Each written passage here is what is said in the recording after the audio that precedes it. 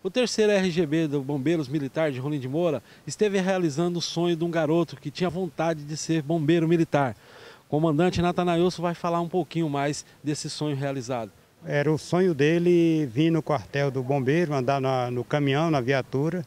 E ontem foi possível realizar esse sonho. Graças a Deus nós o, nós o trouxemos aqui no quartel, mostramos todos os nossos equipamentos, todas as salas é, passeamos com ele no caminhão, também combateu um princípio de incêndio e fizemos aí a, a, o nosso serviço, mostramos para ele, né?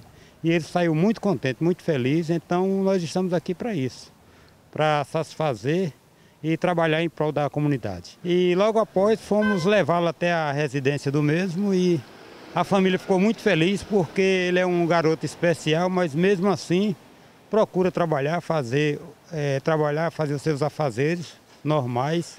E ele saiu muito feliz. E nós também muito gratificados porque nós temos, não só ele, mas muitas crianças, muitos jovens e até senhores que dizem que o sonho era ser bombeiro um dia.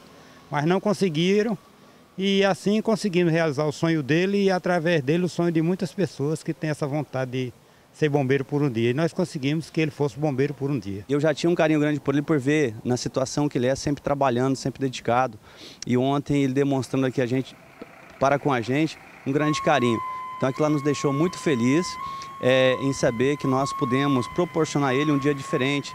Ele falou que aquele momento é inesquecível na vida dele, que não vai esquecer nunca e que ele gosta muito dessa corporação. Então a gente não tem muitas palavras para falar em relação a esse jovem. Só desejar a ele muitas felicidades, muitos anos de vida e dizer que o Corpo de Bombeiros está sempre à disposição, sempre de portas abertas para atender a população.